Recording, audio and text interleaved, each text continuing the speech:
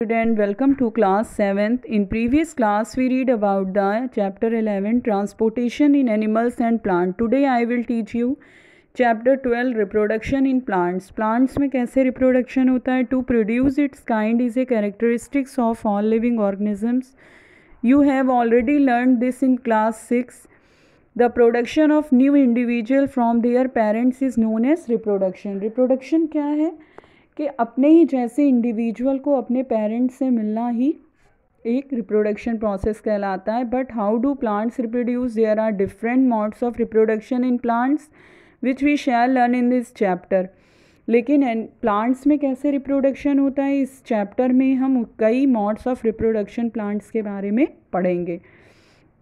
Modes of reproduction in class six you learn about different parts of a flowering plant try to list the various parts of a plant and write the function of each most plants have root stem and leave these are called the vegetative parts of the plant हम देखते हैं कि plants के बहुत सारे parts होते हैं। ज़्यादातर जो फ़ंक्शन मतलब जो मोस्ट पार्ट इसके होते हैं वो रूट स्टीम एंड लीव्स इन्हीं पार्ट्स को हम क्या कहते हैं? प्लांट का vegetative parts after a certain period of growth most plant bear flower कुछ दिन, कुछ ग्रोथ के बाद प्लांट्स क्या देते हैं? फ्लावर देते हैं।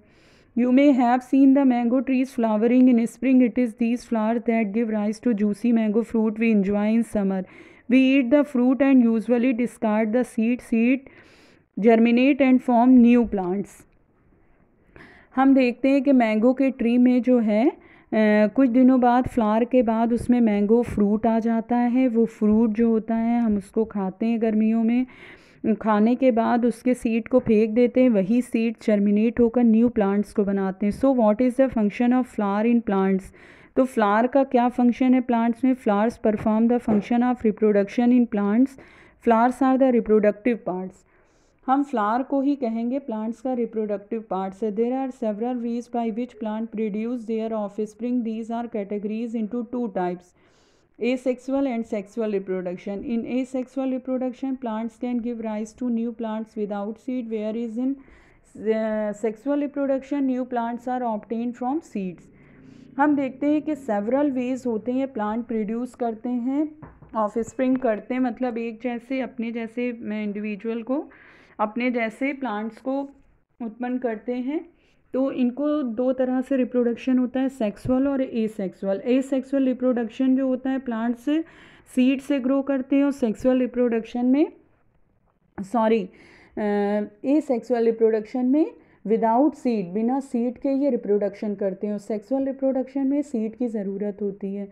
Asexual reproduction in asexual reproduction new plants are obtained without production of seed बिना सीड के प्रोडक्शन के ही एसेक्सुअल रिप्रोडक्शन होता है। सबसे पहला है इसमें vegetative propagation it is a type of asexual reproduction in which new plants are produce from root stem leaves and buds इसमें क्या होता है? प्लांट्स जो होते हैं प्रोड्यूस होते हैं रूट से या फिर स्टेम से या लीव से एंड बर्ड से। Since reproduction is through the through the vegetative parts of the plant it is known as vegetative propagation इसमें रिप्रोडक्शन जो होता है वेजिटेटिव प्लांट से ही होता है। वेजिटेटिव प्लांट्स मैंने अभी बताया था आपको कौन से होते हैं? रूट स्टिम या leaves activity 12.1 cut a branch of rose और champa with a node this piece of branch is termed as cutting हम किसी भी चंपा या रोज़ की ब्रांच को कट कर देंगे। नोट के साथ ये ब्रांच ही टर्म कहलाती है cutting bury the cutting in the soil and node is part of the stem branch and which a leaf arises.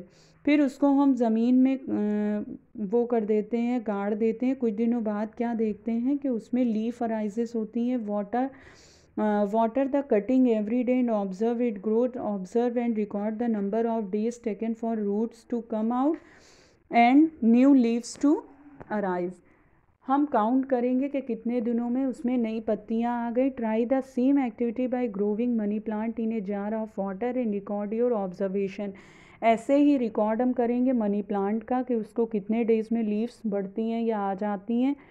You must have seen flower bud developing into fla flowers fla जो हमारे flower buds develop होते हैं, वो हमारे फ्लावर्स में ही develop होते हैं। Apart from flower bud there are buds in the axil यानी point of attachment of the leaf at the node node के लीफ की नोट के पास से जो निकलता है, उसी को हम बर्ड कहते हैं point of leaves which develop into shoot there these buds are called vegetative buds a bud consist of short stem जिसको हम कहेंगे short stem around which immature overlapping leaves are जिसमें इमेच्योर लीव्स निकलती है present होती है। Vegetative buds can also give rise to vegetative buds ही हमको नया प्लांट्स देती है। Activity twelve point two take a fresh potato ले लें। Observe the scars on it with the help of magnifying glass और जो उसके वाइट वाइट वो स्कार्स निकले होते हैं, उसको हम मैग्नीफाइंग ग्लास से देखेंगे। You may find buds in them तो उसके ऊपर जो वाइट वाइट होते हैं, वो बर्ड्स होते हैं। These scars are called eyes जिसको हम पोटैटो की आइज़ भी कहते हैं।